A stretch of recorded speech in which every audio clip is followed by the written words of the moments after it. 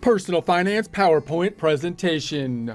Common mistakes of first time home buyers.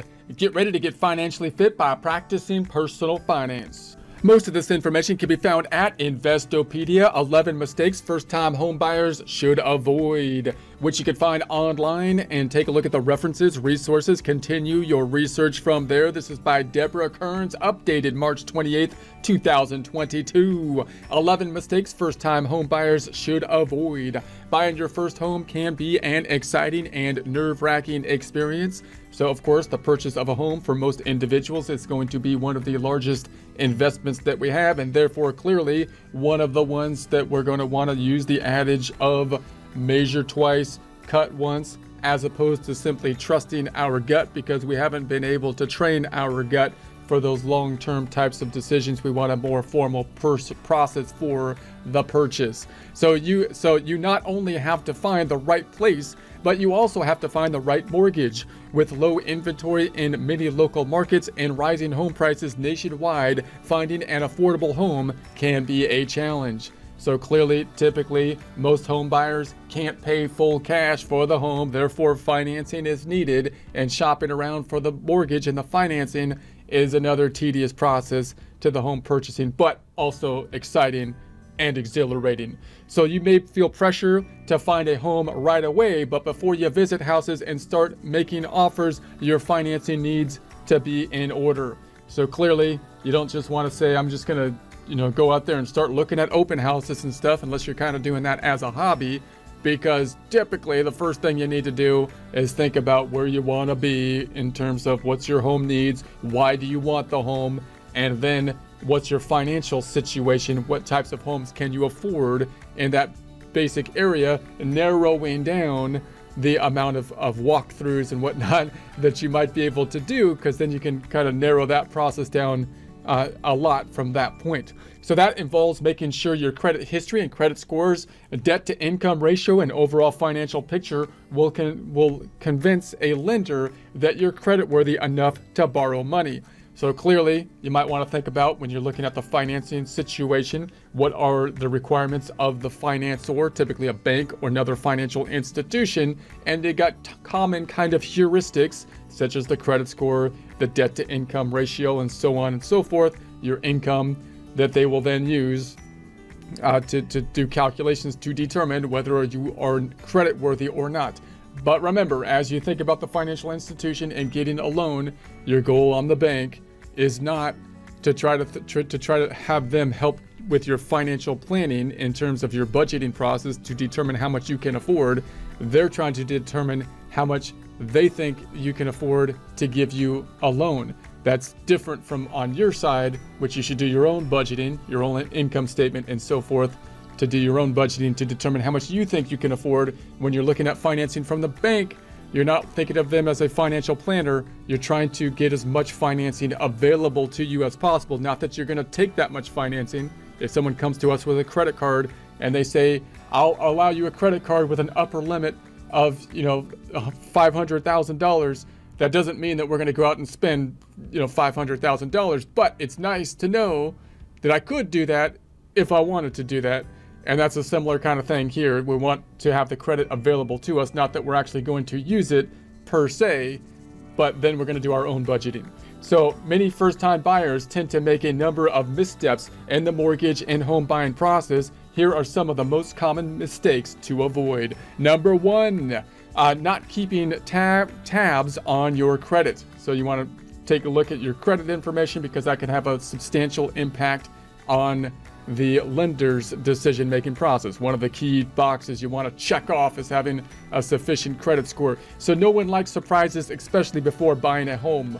So, if you or your spouse have an obvious credit issues, such as history of late payments, debt collection actions, or significant debt, mortgage lenders might offer you less than ideal interest rates and terms or deny your application outright.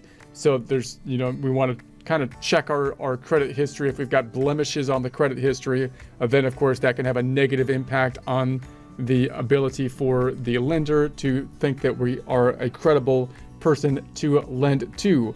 And so there's a couple boxes that we kind of need to check off when we're talking to the lender. Either situation can be frustrating and can push back on your ideal timeline. Note when you're thinking about the financial institution that obviously it's a business negotiation. You're getting financing. Some people, when you get financing, you might think, well, this is like they owe me financing because there's government regulations or something. It's some kind of thing like that. But no, it's obviously the bank is making money by giving you the loan. They want to give the loan because if they give the loan, they make interest on the loan. That's how they make money. But they have to balance that versus the risks that you don't pay them in the future because obviously the money that they're going to make is future money that they don't have at this point in time. And so these are the types of things that are going to balance out the risk versus their rewards, such as do they think you'll actually be able to pay them back? Do you have a history of not paying people back? That's going to be one of the one of the things that you would think they'd have to take into consideration to make that balancing act work. So to tackle potential problems in advance, check your credit report for free each year at annualcreditreport.com. So you can go and check your credit reports in the three major, you know, credit areas uh, from each of the three credit reporting agencies. That's this TransUnion, Equifax, and Experian. So it's a little tricky to kind of do that at first, but once you do it a few times, you can check your, your credit history on those three major uh, indices. You could dive into the weeds in terms of what exactly you know the differences are between them and the pros and cons. But basically, you'd like to be looking good on the three of them. And remember, if you're the bank, usually you kind of think of it as there's a threshold that you want to be over. You want your credit score over a certain threshold, and then usually they're they're going to be more likely to give a loan. If you go over that threshold and then you increase it a little bit more, and your credit history is stronger, then you then that might be good. The bank might be more beneficial, but it's not likely that you're going to have a beneficial return from the bank or better interest rates in alignment with a further increase in the score, right? So you can think of it kind of more like a line that, that the, the, the bank wants to be checking off. Credit score is good. What does good mean? Good means it's in this range. Good means it's over this dollar, over this, over this line item amount. What if it's way over that line item amount? Well, great, but that might not lead to a whole big uh, line of uh, potential other benefits. It's one of the major checks that need to be checked off. So look for errors and dispute, uh, any mistakes in writing with the reporting agencies and creditor, including supporting documentation to help make your case. So if there's a blemish on your credit history, it's like someone said that you didn't pay something back or something like that, you think it's wrong, then you can dig into that more and try to try to settle that, try to increase your credit score. For additional proactive help, consider utilizing one of the best credit monitoring services. So if you if you find current but accurate negative items such as late payments or delinquent accounts, there's no way to remove those items quickly. Unfortunately, they'll stay on your credit report for 7 to 10 years. What? It's horrible. Life is over. But whatever. But you can boost your, your score by paying your bills on time, making more than the minimum monthly payments on debts, and not maximizing your available credit. Above all, be patient. Uh, it can take at least one year to improve a low credit score. Also, check to see if your check to see if your bank, credit union, or credit card provider gives a free access to your credit score. If your score is below 620, you may have trouble getting approved for a conventional mortgage. So that's like the threshold line that you can kind of look at as a, as a threshold. It could increase or decrease and so on, but that's kind of like a line that you can you can consider. To qualify for an FHA loan, you'll need a minimum credit score of 580. So now you got the FHA, which might be there for people that have more struggling kind of circumstances, possibly a le- lower credit score, then you, you, know you might be able to get the FHA. Of course, now you're talking about government intervention kind of situations, which can have pros and cons. Remember that if you're talking a business negotiation between you and the bank, and both people have all the information, then it's a market transaction. If you bring in government the you know government incentives or policies and whatnot that the more that mixes up uh, in the market there could be good things that result from that but there could also be you know negative negative components as well. Meaning for example uh, we've seen in the past in part some of the government regulations possibly allowing for people to pick up loans that the bank would not otherwise give given the fact that they had the capacity to sell them on secondary markets and so on and so forth. So, so again, just because you might be able to qualify for a loan which is more likely to be the case with government intervention kind of programs, doesn't mean that you should. It's nice to have the capacity to be able to do it, but you want to keep the financing separate than your own kind of budgeting information. So you got the 580 to use the program's maximum financing, 3.5% down payment, which is far less than you might see under under a traditional kind of situation on the down payment, which again, the lender normally would be skeptical of a smaller down payment because that gives less of a cushion in equity in the event that there's a decrease in the market. So if you have a credit score lower than 580, a 10% down payment is required. Number two, searching for the homes before getting a pre-approved. When you find the perfect house, there's no time to waste. And many hot markets, you'll be up against multiple bids in stiff competition. So clearly it's a, it's a market, of course. So when you are competing against other people, especially if the seller, if it happens to be a seller's market, meaning there's a lot more buyers than sellers, there's then the seller has the advantage in that case. You want to be able to go into the purchasing process if you're serious about it, meaning if you're going around and just kind of kind of perusing and see the homes that are out there, but you're not ready to pull the trigger, as they say, not really like killing anyone, but you know, like like money trigger. You're pulling the trigger to get the money to shoot at the other guy so that they sell you the home. If you're doing that, then they're going to want to sell the home fast, right? So, so I mean, if you go into the into the process uh, and you have the money available ready, then obviously that's going to be an advantage over someone that does not.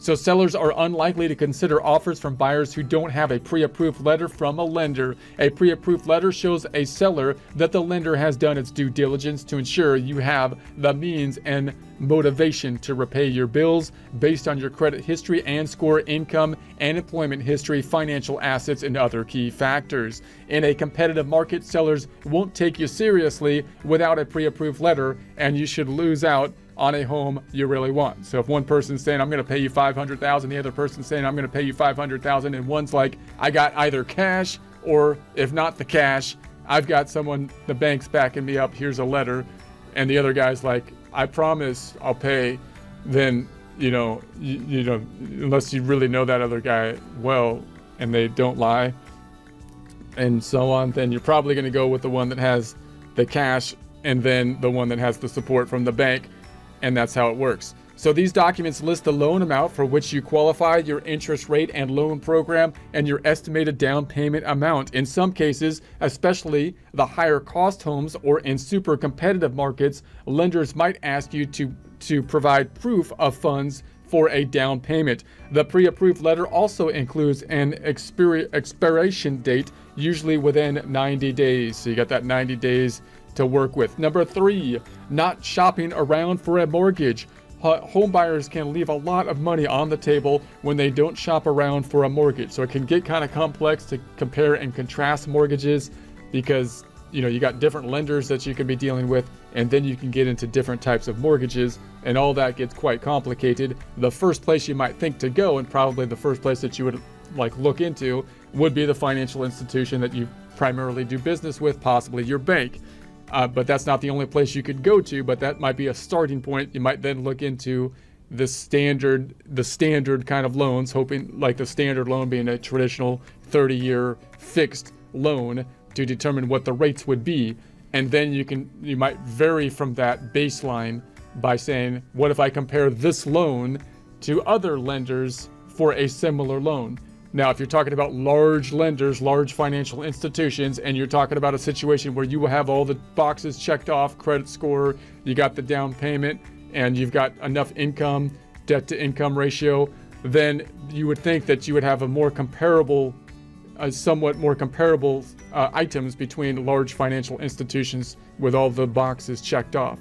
But of course, when you get into situations, and, and but then you can check multiple financial institutions. When you get into situations where you have less of the boxes checked off, then it gets it, it can get a little bit more confusing, right? In terms of who which financial institution would be willing to give you the the best loans in that in that kind of instance. And then of course you can deviate in terms of the type of loan that you might be taking out. And obviously that opens up a whole wide range of more uh, variance that gets complex quickly. So applying for mortgages with a few different lenders gives you a better sense of what you can afford and lets you make an apples to apples comparison of loan products, interest rates, closing costs, and lender fees. So note that when you look at the loan, you might first think, well, when do I qualify? That's number one. And so which ones are letting me qualify? And then two, the interest rate. But there, you can also mix up these other items with the closing costs. So you might have someone that has higher closing costs but a lower rate. And then the question is, well, the other one has a lower rate and a higher closing cost. And you can look at things like the APR and whatnot to try to figure out which would actually be better. And it would kind of be dependent upon how long you're going to stay in the home and whatnot. But if you have two documents, they're usually going to be comparable uh, the approval documents are somewhat standardized, so you can at least compare them if you got them side by side in a fairly standard comparative way. So, more important, shopping for a mortgage puts you in a better position to negotiate with lenders to get the best deal possible. So, as you shop, lenders pay attention to fees and closing costs, which can add up at the closing table. While some of the pricing vari- uh, variances may not seem big on paper now, they can add up to significant costs savings over the lifetime of your loan. So, clearly, if you're talking about a higher loan amount or something like that, or a higher interest rate, then even a small change over 30 years can be quite uh, significant. Keep in mind that some lenders will offer you discounts or points, uh, a way to buy down your interest rate up front. So if you get into the points kind of calculation, then you got to think about okay, what if I pay money up front to buy a lower interest rate in order to get the interest rate lower? And that gets com- complex because then you got to think about is that worthwhile over the long run? Typically, the longer you're planning to stay in the home, the more likely that type of, of calculation would work if you had the cash flow to even do it up front in the first place. So, this increases your closing costs, and other lenders that promote low or no closing costs tend to charge higher interest rates to make up the difference. So that's the games that they're going to play, right? What can you what can you adjust if you were a lender to try to make the circumstances kind of the same over the life of the loan, but have different, you could adjust different things. What could you adjust? Well, you, you could adjust, you know, the loan amount is basically going to be fixed, right? So now you've got the interest rates, which, which can vary, but you can also play with the, with the uh, closing costs. So you can have higher or lower closing costs. So if you have that closing cost, the money you're going to get up front higher, then you might be able to kind of lower, you know, the, the interest rates. And these are kind of the, the things that we have to compare when you're doing the side by side comparison. Things like an APR calculation can help, but there's no one statistic that's really going to tell you the benefits between the two. You kind of kind of map out how long you're going to be in the home and so on. But doing the side by side comparison will at least alert you to those differences and then you can start to dig down on them a bit more. So home buyers in the US pay on average $6,837 for closing costs according to a 2021 survey from Close Corp, a real estate closing cost data firm. In addition to the checking with your current financial institution, either a bank or credit union, ask mortgage broker to shop rates on your behalf. So we talked about the difference between someone who like works at the bank and a mortgage broker. The mortgage broker is someone who's going to be shopping for different at different financial institutions. So so they work differently. If you're talking to someone that's working at your financial institution, they give you the array of mortgages available at that financial institution, possibly the bank. Mortgage broker working with multiple financial institutions then is looking between multiple institutions. So mortgage brokers aren't lenders. They act as a matchmaker between you and uh, lenders in their network. So you're not, you know, like not like in a dating situation, really, with matchmaker, but more like, you know, a lender, a lender situation. So finding a lender that is going to be appropriate for uh, for the home buyer uh, instead of just going to that one banking institution. That's what the broker is doing. So they can save you time and money by comparing multiple lenders who have products that fit your needs. Also, it's worth looking into some direct lenders, other online or in person, to see what they offer. So clearly, you can do your own work as well. When you talk to the brokers, they might not have the capacity for, you know, they might be somewhat limited to the number of lenders they're looking into. So you might think that the broker is just going to look at all the lenders available, but they might only have the capacity to work with certain lenders. So you still could have some restrictions even with the broker. So you might want to do your own comparisons you know, as well, or possibly even work with multiple brokers or something like that. But uh, but but I, no matter what you do, I first kind of think about the baseline scenarios as if you had all the checks box checked off, as if you were going to a large financial institution, and and that being your actual bank. Most likely, that's kind of your baseline starting point, and then see if you can look at the variance from from that point and do a comparison to that baseline as all these other factors come into place. That might give you some place to kind of ground yourself as you're as you're doing all these kind of comparison. So using a mortgage calculator is a good resource to budget some of the costs.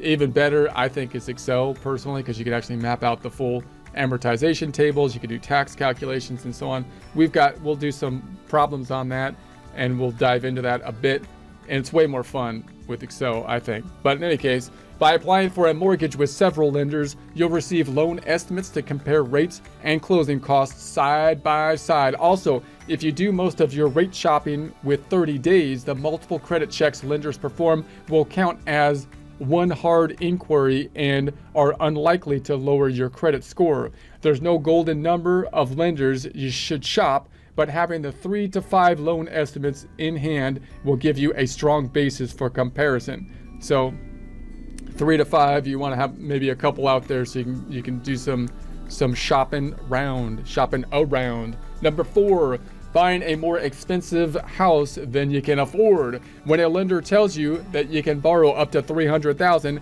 it doesn't mean you should. So it's just like a credit card, right? I want my credit card to tell me that I can borrow infinity dollars if I wanted to. But if they told me I could borrow infinity dollars, I'm not actually going to borrow infinity dollars. But if I ever needed infinity dollars, the credit card, it's nice to know that it's there.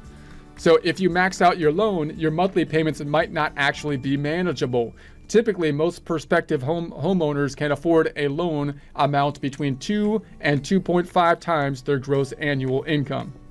So oftentimes, you use these kind of heuristics that are based on your income level. That's what the bank's going to do too, because the bank uh, has a trust issue, of course, right? They, they, they can verify your income with things like tax returns and W 2s. They cannot verify all your expenses and your living style and whatnot.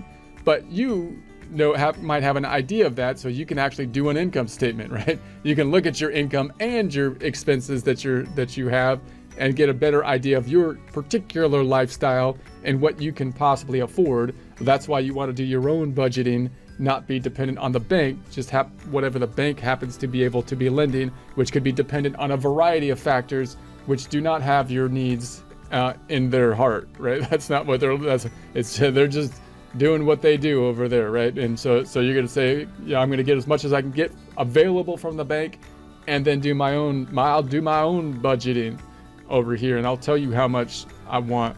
So in other words, if you earn 75,000 per year, you might be able to afford a home price between 150,000 or 187.5. So that's a kind of heuristic. So Investopedia mortgage calculator can help you estimate monthly payments, which is a better uh, barometer of whether you can afford a home in a certain price range. Buying a home, buying a more expensive house than you can reasonably afford can lend can lend you in trouble if you have a stretch your monthly budget to make mortgage payments. So obviously, you don't want to be in a tight situation where you can't make the mortgage payments because even if the equity in the home goes up, it's hard to access that equity uh, in the home. It's not fluid cash you'd have to refinance or something like that. So in other words, you might wind up feeling, quote, house poor, end quote, and experiencing buyer's remorse, Rem- meaning there's kind of a difference between different kind of assets, of course. So, it, I mean, it seems obvious, but it's easy to think I'm going to buy the home. I'm going to have this big $500,000 value on my balance sheet. I'm worth 500,000 because I got this home, even, and then I've got the loan on the books. But uh, you know, even if you had the 500,000 and no loan on the books, if you can't, you know, if, if you needed to pay bills, you can't really pay it with the house, right? You could take a loan out on the house or so something like that. But it's possible to have to have your equity situation, meaning your net assets, assets minus liabilities, look good, but still be in a cash flow problem, meaning you don't have enough actual cash to pay the bills that are coming up, even though you have a significant amount of assets over the liabilities, more than the liabilities. So you got to kind of think about the cash flow. Also, consider that homeownership comes with added expenses in addition to those monthly mortgage payments. You need to save for uh, inevitable maintenance expenses, repairs, insurance, property taxes, homeowners association fees, if applicable, and other costs that you do not have to pay as a renter. So when you're doing your budgeting and moving into the home, remember that, that you're to have the property taxes, of course, possibly insurance. You might have homeowners associations, and then something that people often, in my opinion, don't always take into consideration is the fact that they actually have to repair the home. Whereas if you've been renting your whole life, you don't, you know, you just call up the maintenance person and they repair the home. So if you're someone that works in, on homes and whatnot, then you have a pretty good idea of that. And that, that might be one of the reasons you want to go into a home because you like working on your home. You want to remodel your kitchen uh, yourself and that kind of stuff, which is great. That's a great thing.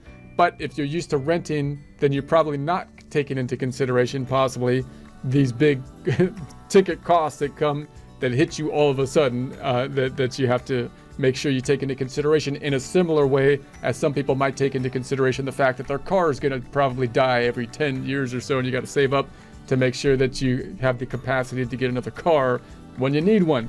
So stretching your monthly budget to cover uh, your mortgage might also mean you can't save up for an emergency or those house repairs and it will eat up your cash flow for other financial goals as well, such as that vacation I'm going on once I can go stuff, do stuff.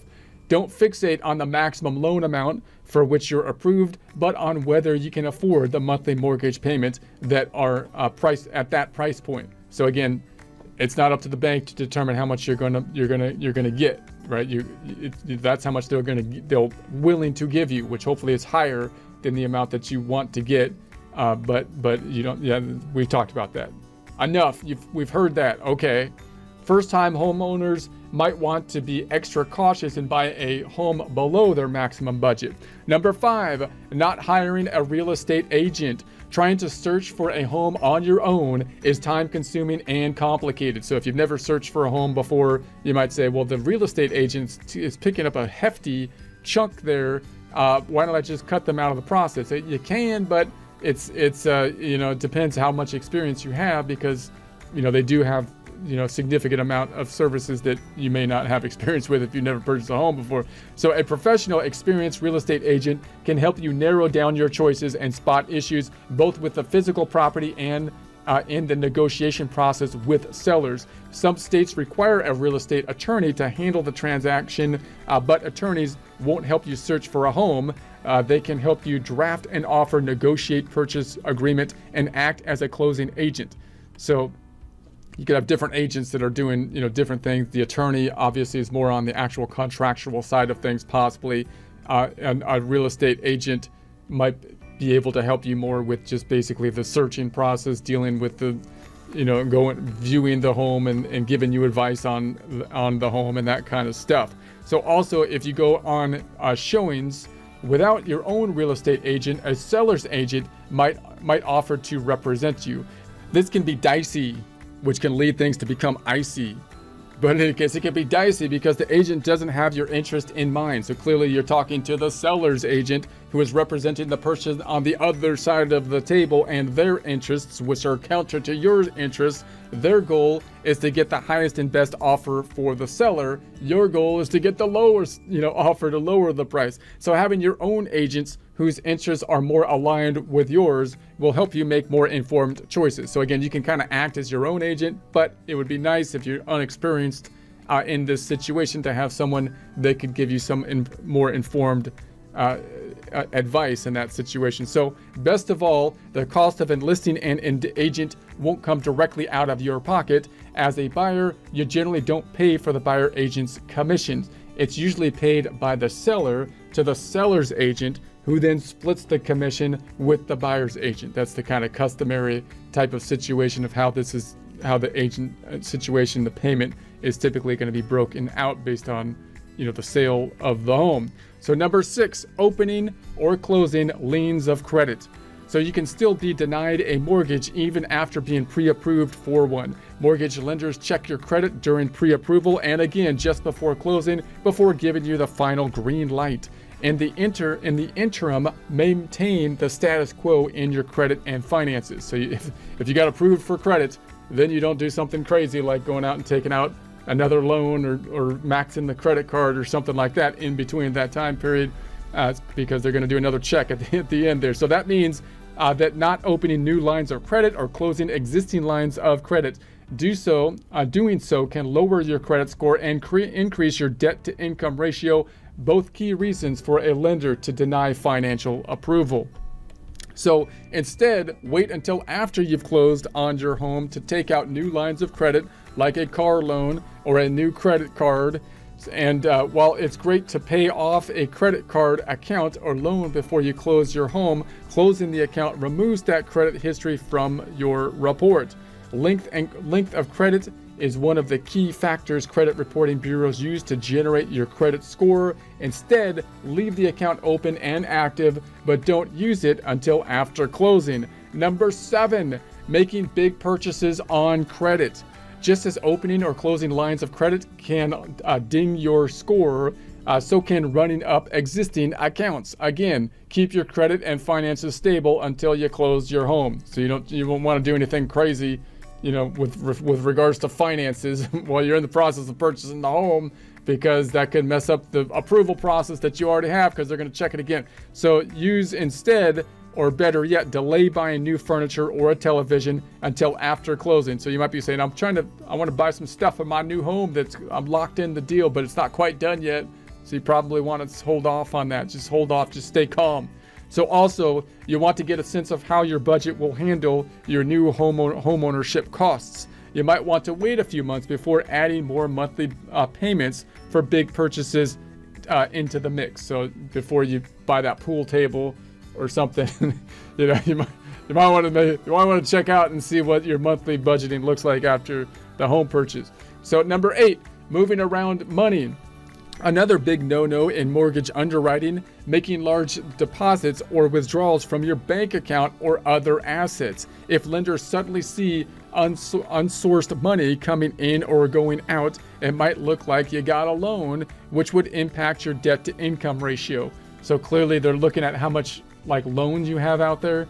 And obviously when people know what the lenders are going to, to, to be looking for, then they might try to finagle the system. They might try to do something sneaky. They might try to get a loan that they that they're not telling to the lender, so they're not telling them about the debt, the fact that you have to pay back the loan, but now they all of a sudden have money, you know, in their account or something like that. And those kind of transactions are going to look are going to look fishy or or sneaky or something that they might uh, could uh, could cause problems. So lenders aren't worried about the tran tra transparent deposits, such as bonus from your employer or IRS tax refund. So if they look at your banking account, if they look back at your bank account uh, information, which they might ask for as part of the financing process, and they see deposits and they say, oh, yeah, that was the year-end bonus for your Christmas bonus or whatever came from your employer. But then if you just have a, a random like $30,000 deposited in there and they're like, what was that for? And you know, I don't, and, and you're not giving them an explanation of it, then they might say, well, that looks like it could be a loan from somebody that you might have to repay, which means you have a liability and so on. So, but if a friend wires you money or you receive business income in your personal account, a lender will demand proof to verify that the deposit isn't a disguised loan. Expect a lender to ask for a bill of sale if the deposit is from some something you sold, a canceled check, or a pay stub. So you, you can use a gift from a related or friend forward your down payment. However, many loan products require a gift letter and documentation to source the deposit and verify that the donor isn't expecting you to pay back the money. So you might be saying, "Well, I got I got money from a friend or my family to pay the deposit."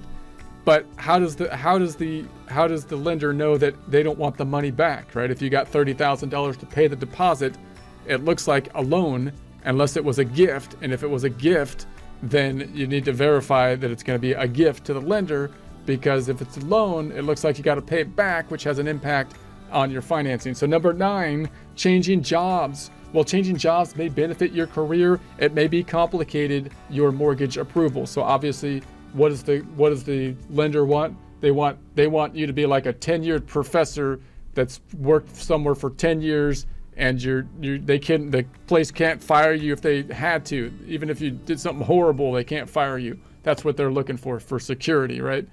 So if you're changing jobs, then then they're going to be a little skeptical over there.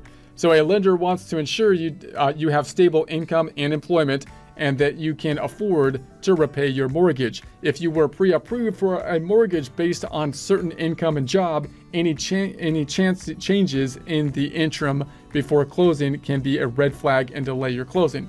So again, they they, they don't even like like if you're a sole proprietorship, it's going to possibly be more difficult than like if you were a tenured professor or if you're a salaried person, you probably have a better you look better to the lender than an hourly person, even if you make substantial income as an hourly person and so on. And you can see why from the lender's kind of perspective. For approval, you generally must provide proof of two consecutive years of steady employment and income. So you typically want two years. They can check that on your tax return and with the W-2s, for example. And again, if you if you're sole proprietorship, you have your own business, they're probably going to be more skeptical on the lending side of things because there's more risk involved in that kind of stuff.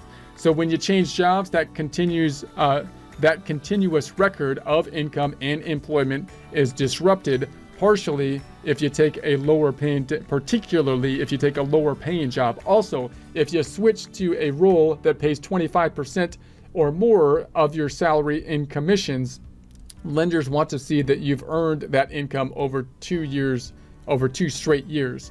So if you get commissions that's going to be something that varies based on your performance so there, if you get, did really good last payroll or something like that, and then last year you weren't doing so good, then it doesn't look like what's going to happen in the future. They don't really know. Whenever possible, lenders recommend waiting to switch jobs until after your loan closes. Uh, if that's not doable, tell your lender right away. Number 10, skipping the home inspection unless you have a lot unless you have a lot of cash to fix up a home and are willing to risk having to pay for unforeseen repairs waiving a home inspection can be a costly mistake. Home inspections are meant to find major issues with a home and they are intended to protect the buyer. If you don't get an inspection you will have no resource if a recourse if a major issue such as cracked pipes or water damage surfaces after you close on a home. That means you might be footing the entire bill to fix those issues. When you make an offer on a home, you can include a home inspection contingency that gives you a penalty free exit from the deal if a major issue is uncovered and the seller is unwilling to fix it before closing. So you can have the home inspection in there if they say, hey, the whole thing, the, the base is cracked or something like that, then uh, then you can decide what to do at that point. So, uh, with with that contingency, with that contingency in place, you can withdraw your, your offer and usually get your full earnest money deposit refunded. The home inspection fee is non refundable and typically paid by the buyer to the home inspector up front. It typically ranges from $300 to $500 depending on location and the size of the property. It's a small price to pay when you weigh it against the potential cost of having to replace a furnace, water heater, roof, or other big ticket items, which could amount into the thousands. So you, you might consider additional inspections such as a pest inspection, mold or radon inspection, or a sewer scope, for example, if your lender requests it. So these and other inspections can help protect your investment and safety. Number 11, not comparing the loan estimate to the closing disclosure. Your lender is required by law to provide you with a closing disclosure three business days prior to your closing date. This document lists the exact costs you're expected to pay at closing, including your down payment, closing costs, loan details, and terms and other important information. It's a five page document Take the time to compare it against the initial loan estimate you received to make sure you aren't being charged extra fees called junk fees uh, by your lender or other parties involved in the transaction. So clearly you got an estimate on the loan. Now the loan's being starting to be finalized here. So you want to be comparing what the, the loan's actually going to be compared to what they told you on the estimate and see if they did anything funny in that interim period. Also, uh, if certain fees go up more than expected, ask your lender to explain why. Make sure basic details such as your name and other identifying information are listed correctly. uh, so you don't run into paperwork issues on the closing day. If you find errors or questionable or uh, questionable or unexplained extra fees, tell your lender immediately so those issues can be addressed. In some cases, your, close, your closing might have to be pushed back to ensure the paperwork is corrected and updated and all issues are resolved. Bottom line, you don't want to inadvertently sabotage your mortgage and your home purchase. Some of these mistakes seem innocent, but they can sidetrack your closing and create massive headaches. Talk to your lender about what you should do from pre approval to closing to ensure a smooth process. And try to keep all of your documents, bank statements, W 2s, deposit records, tax returns, pay stubs, and so on organized and updated so you can provide documentation if your lender requests it. When it comes to buy when it comes time to buy your first home being well read and educated about the lending and real estate process can help you avoid some of these mistakes not to mention saving money along the way. Further ensure that the transaction goes smoothly by having trained experienced professionals by your side to guide you this can alleviate some of the stress and complexity along the way.